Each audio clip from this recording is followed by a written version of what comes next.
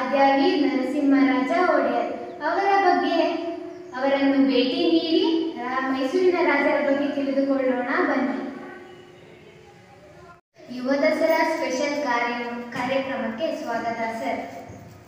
Thank you so much sir, ಈ ಬಾರಿ ಈ ಬಾರಿ ದಸರಾಗೆ ಏನೇನು ತಯಾರಿ ಮಾಡ್ಕೊಂಡಿದ್ದೀರಾ? ಈ ಬಾರಿ ದಸರಾನ ಅದ್ದೂರಿಯಾಗಿ ಮಾಡೋಣ ಅನ್ಕೊಂಡಿದೀವಿ ಕಾರಣ ಎರಡು ವರ್ಷದಿಂದ ಕೊರೋನಾ ಇತ್ತು ಅದಕ್ಕಾಗಿ ಈ ಸರಿ ಅದ್ದೂರಿಯಾಗಿ ಮಾಡೋಣ ಹೇಳಿದ್ವಿ. ಅದಕ್ಕೆ ಸರ್ಕಾರ ಕೂಡ ಚೆನ್ನಾಗಿ ಸಪೋರ್ಟ್ ಮಾಡ್ತೈತೆ. ಮತ್ತೆ ಅಂಬಾರಿಯವರ ಆನೆಗಳನ್ನ ನಾವು ಅದಕ್ಕೆ ಕರೆಸಿ ಅದಕ್ಕೆ ಚೆನ್ನಾಗಿ ಟ್ರೈನಿಂಗ್ ಕೊಡ್ತಾ ಇದ್ದೀವಿ ಮತ್ತೆ ಅದಕ್ಕೆ ಒಳ್ಳೆ ಆಹಾರಗಳನ್ನ ಕೊಡ್ತಾ ಇದ್ದೀವಿ ತುಂಬಾನೇ ಚೆನ್ನಾಗಿ ನಡೀತಾ ಇದೆ ಸರ್ ಈ ಬಾರಿ ಅಂಬಾರಿನ ಯಾವ ಆನೆ ಬರುತ್ತೆ? ಅಭಿಮಾನಿ ಎಂಬ ಆನೆ ಬರುತ್ತೆ. ಸರ್ ದಸರಾದ ಬಗ್ಗೆ ತಿಳಿಸ್ಕೊಟ್ರಿ ಈಗ ಮೈಸೂರಿನ ಇತಿಹಾಸದ ಬಗ್ಗೆ ಜನರಿಗೆ ತಿಳಿಸ್ಕೊಡ್ತೀರಾ? ಖಂಡಿತ. ಮೈಸೂರು ರಾಜ್ಯದ ಬಗ್ಗೆ ಹೇಳೋದಾದ್ರೆ ವಿಜಯನಗರ ಸಾಮ್ರಾಜ್ಯದ ನಂತರ ಮೈಸೂರು ರಾಜ್ಯ ಸ್ಥಾಪನೆಯಾಯಿತು ಇದರ ನಿಜವಾದ ಸ್ಥಾಪಕ ಅಂತ ಹೇಳೋದು ಎದುರಾಯ ಇದು ಚಾಮರಾಜೇಂದ್ರ ಒಡೆಯರ್, ಅವರು ಕಾಲು ಕಂಡ ಒಟ್ಟು ಇಪ್ಪತ್ತೈದು ಒಡೆಯರ್ಗಳಿದ್ದಾರೆ ಅದರಲ್ಲಿ ಪ್ರಮುಖವಾದವನು ಅಂತ ಅಂದ್ರೆ ಕೆಲವು ವ್ಯಕ್ತಿಗಳು ಬರ್ತಾರೆ ಅದರಲ್ಲಿ ರಾಜ ಒಡೆಯರು. ಊರ ಬಗ್ಗೆ ಹೇಳೋದಾದ್ರೆ ಪಾಳೆಗಾರ ರೀತಿ ಇದ್ದಿದ್ದು ನಮ್ಮ ಮೈಸೂರು ಸಂಸ್ಥಾನನ ಆ, ಮೈ ಮೈಸೂರು ಸಂಸ್ಥಾನ ಮಾಡ್ತಾರೆ ಮತ್ತೆ ಮೇಲುಕೋಟೆ ಚೆಲುವರಾಜ ನಾರಾಯಣ ಸ್ವಾಮಿಗೆ ಆ, ರಾಜಮುಡಿ ಎಂಬ ಕಿರೀಟನ ಅರ್ಪಿಸ್ತಾರೆ. ಮತ್ತೆ ಹೀಗೆ ನಡೆಯುತ್ತಲ್ಲ ನವರಾತ್ರಿ? ಅದನ್ನ ಅವರೇ ಆರಂಭಿಸಿದ್ದು. ನಂತರ ಬಂದವರೇ ಚಿಕ್ಕದೇವರಾಜ ಒಡೆಯರು. ಇವ್ರ ಬಗ್ಗೆ ಹೇಳೋದಾದ್ರೆ ಮಾಗಡಿ ಮಧುಗಿರಿ ಕೋಟಾಕರವನ್ನು ವಶಪಡಿಸ್ಕೊಂಡ್ರು. ಮತ್ತೆ ಮೊಘಲರಿಂದ ಬೆಂಗಳೂರನ್ನ ಕೊಂಡ್ಕೊಂಡ್ರು. ಇವರಿಗೆ ಕರ್ನಾಟಕ ಚಕ್ರವರ್ತಿ ಅಪ್ರತಿಮ ವೀರ ತೆಂಕಣ್ಣ ರಾಜ ಮತ್ತು ನವಕೋಟಿ ನಾರಾಯಣ ಎಂಬ ಬಿರುದು ಕೂಡ ಇದೆ. ಇವರ ಕಾಲದಲ್ಲಿ ಅಂಚೆ ವ್ಯವಸ್ಥೆ ಕೂಡ ಇತ್ತು. ಮತ್ತೆ ಇವರು ಕಾವೇರಿ ನದಿಗೆ ಅಣೆಕಟ್ಟು ಕಟ್ಟಿ ಚಿಕ್ಕ ದೇವರಾಜನ ಆಲಯ ಮತ್ತು ದೊಡ್ಡ ದೇವರಾಜನ ಆಲಯಗಳ ಆಲಯ ಕಾಲುವೆಗಳನ್ನು ಸ್ಥಾಪಿಸಿ ಕೃಷಿಕಾರರಿಗೆ ಹೆಲ್ಪ್ ಮಾಡೋ ರೀತಿ ಮಾ ಹೆಲ್ಪ್ ಆಗೋ ರೀತಿ ಮಾಡಿದ್ರು. ಮತ್ತೆ ಈ ರೀತಿ ಮೈಸೂರಿನ ಸಂಸ್ಥಾನವನ್ನು ವಿಸ್ತರಿಸಿದ ಅಭಿವೃದ್ಧಿಪಡಿಸಿದ್ರು. ಇವರ ನಂತರ ಕೆಲವು ಕಾಲ ಹೈದರಾಲಿ ಮತ್ತೆ ಟಿಪ್ಪು ಸುಲ್ತಾನು ನಮ್ಮ ಮೈಸೂರು ಸಂಸ್ಥಾನನ ಆಳ್ತಾರೆ.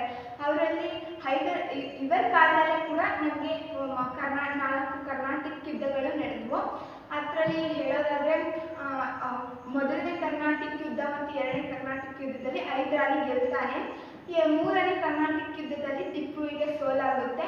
ಮತ್ತೆ ನಾಲ್ಕನೇ ಕರ್ನಾಟಕ ಯುದ್ಧದಲ್ಲಿ ಟಿಪ್ಪು ಮರಣ ಹೊಂದುತ್ತಾನೆ.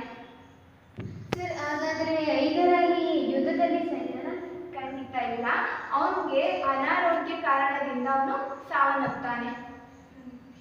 ನಂತರ ಬಂದವರೇ, ಮತ್ತೆ ಮೈಸೂರು ಸಂಸ್ಥಾನ ಏನಿದೆಯಲ್ಲ, ಅದು ನಮ್ಮ ಮೈಸೂರು ಒಡೆಯರ್ಗೆ ಸೇರ್ಪಡೆಯಾಗುತ್ತೆ.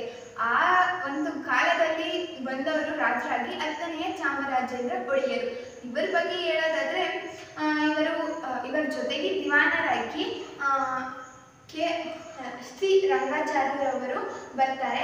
ಇವರಿಬ್ಬರು ಸೇರಿ ಕೋಲಾರದಲ್ಲಿ ಚಿನ್ನದ ಪ್ರಾರಂಭಿಸ್ತಾರೆ.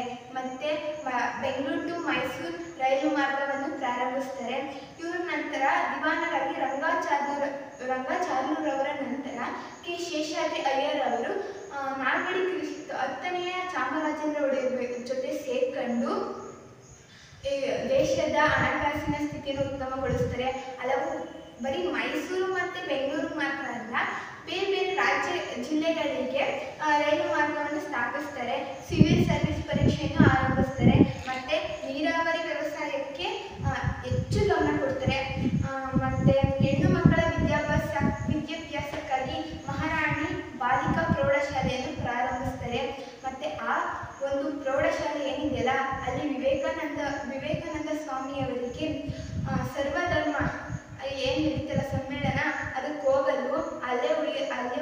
ಉಳ್ಕೊಳ್ಳೋಕೆ ಜಾಗ ಕೊಟ್ಟು ಒಂದು ಕಿರು ಸಹಾಯವನ್ನು ಮಾಡ್ತಾರೆ.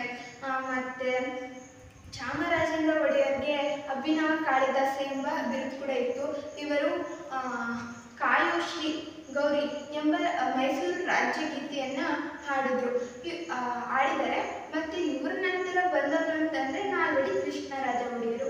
ಇವರು ಇವರು ಪಟ್ಟಕ್ಕೆ ಬಂದರೂ ಕೂಡ ಇವರು ಆಳ್ವಿಕೆ ಮಾಡಲ್ಲ ಇವರ ತಾಯಿ ಆಳ್ವಿಕೆ ಮಾಡ್ತಾರೆ. ಯಾಕೆ ಅವ್ರ ತಾಯಿ ಆಳ್ವಿಕೆ ಮಾಡ್ತಾರೆ? ಯಾಕಂತ ಅಂದ್ರೆ ಅವ್ರು ಪಟ್ಟಕ್ಕೆ ಬಂದಿರ್ತಾರೆ. ಅವ್ರ ತಂದೆ ಸತ್ತೋದ್ ಕಾರಣ. ಆದ್ರೆ ಅವರು ಆಳ್ವಿಕೆ ಮಾಡಕ್ಕಾಗಲ್ಲ. ಯಾಕಂತಂದ್ರೆ ಅವ್ರಿಗೆ ವಯಸ್ಸಷ್ಟು ಆಗಿರಲ್ಲ ಅದ್ ಅದರಿಂದಾಗಿ ಅವ್ರ ತಾಯಿ ಮಹಾರಾಣಿ ವಾಣಿ ವಿಲಾಸ ಅವ್ರು ಇರ್ತಾರಲ್ಲ, ಅವ್ರು ಆಳ್ವಿಕೆ ಮಾಡ್ತಾರೆ. ಇವ್ರ ಜೊತೆಗೆ ದಿವಾನರಾಗಿ ನಂಜಮಣಿ ಎಂಬರು ಅವರು ಸೇರ್ಕೊಂಡು ಇವ್ರ ಕಾಲದಲ್ಲಿ ಚಿನ್ನದ ಗಣಿನ ಸುಧಾರಣೆ ಮಾಡ್ತಾರೆ. ಅವ್ರು ಏನು ಸ್ಥಾಪಿಸಿದ್ರು? ನಾಲ್ಕು ಹತ್ತನೇ ಚಾಮರಾಜೇಂದ್ರ ಒಡೆಯರು ಅದನ್ನ ಸುಧಾರಣೆ ಮಾಡ್ತಾ ಇರ್ತಾರೆ. ಮತ್ತೆ ಕಾಲೇಜು ಸ್ಥಾಪನೆ ಬರೀ ಅವರು ಶಾಲೆ ಸ್ಥಾಪಿಸಿದ್ರು ಇವರು ಕಾಲೇಜುಗಳನ್ನೆಲ್ಲ ಸ್ಥಾಪನೆ ಮಾಡ್ತಾರೆ. ಮತ್ತೆ ಆ, ಮಾರಿ ಕಣಿವೆ ಜಲಾಶಯದ ನಿರ್ಮಾಣ ಮಾಡ್ತಾರೆ. ಮತ್ತೆ ರೈಲು ಮಾರ್ಗಗಳು ಹಲವು ರೈಲು ಮಾರ್ಗಗಳನ್ನ ಇನ್ನಷ್ಟು ಅಭಿವೃದ್ಧಿಪಡಿಸ್ತಾರೆ. ಆಸ್ಪತ್ರೆ ಸ್ಥಾಪನೆ ಮಾಡ್ತಾರೆ. ಮತ್ತೆ ಶಿವನ ಸಮುದ್ರಕ್ಕೆ ಜಲವಿದ್ಯುತ್ ಕೇಂದ್ರ ಮಾಡ್ತಾರೆ. ಮತ್ತು ಇದರಿಂದಾಗಿ ಕೋಲಾರದ ಕೋಲಾರ ಮತ್ತು ಬೆಂಗಳೂರಿಗೆ ಸರಬರಾಜಾಗುತ್ತೆ ಇವ್ರ ನಂತರ ಆಡಳಿತವನ್ನ ನೇರವಾಗಿ ಅತ್- ನಾಲ್ವಡಿ ಕೃಷ್ಣರಾಜ ಒಡೆಯರೇ ವಹಿಸ್ಕೊತಾರೆ ನಾಲ್ವಡಿ ಕೃಷ್ಣರಾಜ ಒಡೆಯರು ಪ್ರಾಥಮಿಕ ಶಿಕ್ಷಣದ ಅಭಿವೃದ್ಧಿಗಾಗಿ ಶಿಕ್ಷಣ ಶುಲ್ಕವನ್ನು ರದ್ದುಪಡಿಸ್ತಾರೆ.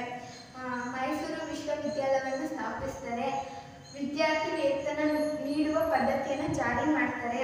ಮತ್ತೆ ಭಾರತೀಯ ವಿಜ್ಞಾನ ಸಂಸ್ಥೆಯನ್ನು ಸ್ಥಾಪಿಸ್ತಾರೆ ರೈಲು ಮಾರ್ಗಗಳನ್ನು ಮಾರ್ಗಗಳನ್ನು ನಿರ್ಮಿಸ್ತಾರೆ ಸಣ್ಣ ಪ್ರಮಾಣದ ಗುಡಿ ಕೈಗಾರಿಕೆಗಳಿಗೆ ಪ್ರೋತ್ಸಾಹ ಕೊಡ್ತಾರೆ ಮತ್ತೆ ನ್ಯಾಯ ವಿಧಾಯಕ ಸಭೆಯನ್ನು ರಚಿಸ್ತಾರೆ ಇವರ ಇವರ ಕಾಲದಲ್ಲಿ ಆ, ಮೈಸೂರಿಗೆ ಮಾದರಿ ರಾಜ್ಯ ಎಂಬ ಹೆಸರು ಕೂಡ ಬರುತ್ತೆ ಈ ರೀತಿ ಹಲವು ತಂದೆ ಅದು ತಾಯಿ ಮತ್ತೆ ಮಗ ಸೇರ್ಕೊಂಡು ಹಲವು ಅಭಿವೃದ್ಧಿಗಳನ್ನ ಮಾಡ್ತಾರೆ ಇವರ ನಂತರ ಬಂದವರು ಜಯ ಚಾಮರಾಜ ಒಡೆಯರು ಇವರು ಸ್ವತಂತ್ರ ಬಂದ ನಂತರ ಪ್ರಪ್ರಥಮ ರಾಜರು. ಇವರ ಬಗ್ಗೆ ಹೇಳೋದಾದ್ರೆ, ಜ ಜಯಚಾಮರಾಜರು ವಿದ್ವಾಂಸರು, ಸಂಗೀತ ತಜ್ಞರು ವಾಗ್ಮಿ ಸಾಹಿತ್ಯ ಕಲೆಗಳ ಪೋಷಕರಾಗಿದ್ದರು. ಅನೇಕ ಗ್ರಂಥಗಳನ್ನು ರಚಿಸಿದ್ದರು. ಅಲ್ಲದೆ ಭಕ್ತಿ ಗೀತೆಗಳನ್ನು ರಚಿಸಿದ್ದಾರೆ. ಇವರು ಇವರ ನಂತರ ಇನ್ನೂ ಹಲವಾರು ನಂತರ ಹಲವಾರು ರಾಜ್ಯರು ಆಳ್ವಿಕೆ ಮಾಡ್ತಾರೆ. ಆಳ್ವಿಕೆ ಮಾಡಿ ಮೈಸೂರನ್ನ ಇನ್ನಷ್ಟು ಅಭಿವೃದ್ಧಿಪಡಿಸ್ತಾರೆ ತುಂಬಾ ಥ್ಯಾಂಕ್ ಯು ಸರ್ ಜನಕ್ಕೆ ಎಲ್ಲ ನನಗೆ ತಿಳಿಯದ ವಿಷಯವನ್ನು ನೀವು ನನಗೆ ತಿಳಿಸ್ಕೊಡಿ ಸರ್, ಈ ಒಂದು ವೇಳೆಯಲ್ಲಿ ಜನಕ್ಕೆ ಏನು ಹೇಳೋದಕ್ಕೆ ಇಚ್ಛಿಸ್ತೀರಾ ಏನಿಲ್ಲ ಈ ಸರಿ ಮೈಸೂರು ದಸರಾ ಅದ್ದೂರಿಯಾಗಿ ನಡೆ ನಡೆಯೋದ್ರಿಂದ ನೀವೆಲ್ಲರೂ ಮೈಸೂರಿಗೆ ಭೇಟಿ ಕೊಡಿ ಅಂತ ಹೇಳ್ತಿದ್ದೀನಿ ಮತ್ತೆ ಬ ಮೈಸೂರು ಚಾಮುಂಡೇಶ್ವರಿ ದರ್ಶನ ಮಾಡಿ ಹಾಗೆ ನಿಮಗೋಸ್ಕರ ಹಲವು ಕಾರ್ಯಕ್ರಮಗಳನ್ನ ನಾನು ಅಳವಡಿಸಿದ್ದೀನಿ ಅದು ಮಾಡಿ ಅಂತ ಹೇಳಕ್ ಇಷ್ಟಪಡ್ತೀನಿ. ವೀಕ್ಷಕರೇ, ನೋಡಿದ್ರಲ್ಲ, ಮೈಸೂರಿನ ರಾಜರನ್ನು ನೋಡಿದ್ವಿ.